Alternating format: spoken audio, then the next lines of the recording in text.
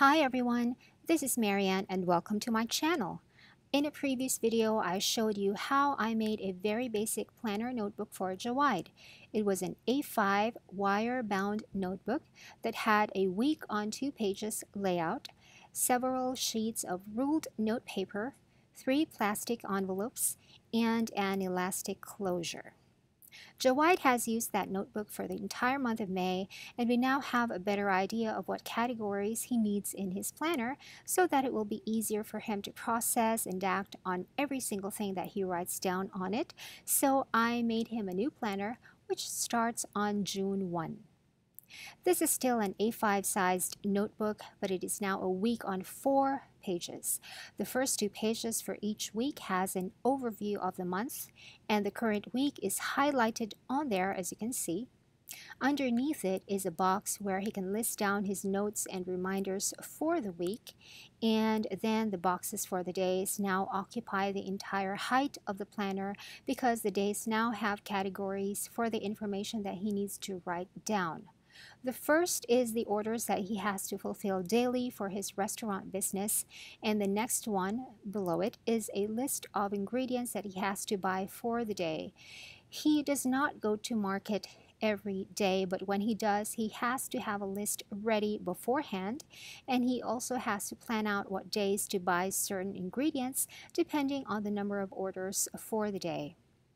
And then he also has a box for other reminders and tasks for the day, like if he has to call or talk to someone, or do something for his band, or take care of some other administrative things for his business or something like that.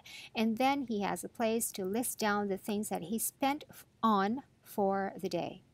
Monday, Tuesday, and Wednesday are on the first two pages, and Thursday through Sunday are on the following two pages, making a week on four pages. For the covers, I actually bought a plastic folder that was thicker and more rigid than the covers I used for the previous planner, and this one is a semi-transparent gray. It actually has diagonal lines running through it. It makes a very subtle texture, and I really, really like it. I assembled this planner in exactly the same way that I assembled the first one. I cut the semi-transparent folders to make three envelopes with flaps and then I hole punched the pages, the envelopes, and the covers using this hole puncher from the Carl Tozicle double loop wire binding system, which I also talked about in previous videos. I used the 100 GSM paper for this planner, which is slightly thicker than the 90 GSM that I used for the previous planner, but I made sure that everything would fit inside a 13 millimeter double loop wire. The Carl Tozicle system does have a way of measuring what wire size can handle the book that you want to bind because let me show you. This is the locking device of the system and on this side we can insert the notebook that we want to bind. The notebook that I want to bind can still fit inside this notch that's created for the 13 millimeter rings and that's how we know that the 13 millimeter rings can actually go into that notebook into that thick of a notebook and then I counted the number of holes that I punched and then counted the number of loops in the wire and then cut off the excess. And then I placed the wire inside the holder and then I placed the back cover in front of the front cover and then I placed everything into the wires in that order and then I took everything out and then after I made sure that the locking device was set to the 13 millimeter mark I locked the wires and then I simply turned over the back cover from the front to the back where it's supposed to be. I recently found this set of neon orange stickers in National Bookstore. I thought it would come in handy for him in case he wants to flag a day for any reason.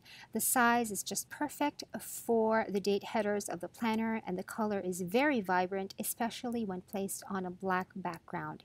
He will just transfer into this planner the other supplies that were in his old planner that you saw in the previous video and then I attached an elastic closure using the same method that I used in the previous notebook planner.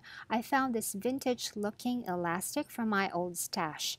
I have no idea where this came from, but I used a black eyelet for this one. It was still a struggle for me to do like before as you can see, but I was able to make it through. And that is how I made Jawaid's new notebook planner. I hope this video was helpful to you. I did not include too many details here because the method and process that I used here was exactly the same as how I did the previous planner. So I didn't want, I didn't really see the need to make this video too long, but I hope you enjoyed watching anyway. If you have any questions, please leave them in the comments and I will get back to you at once. Thanks for watching. Bye!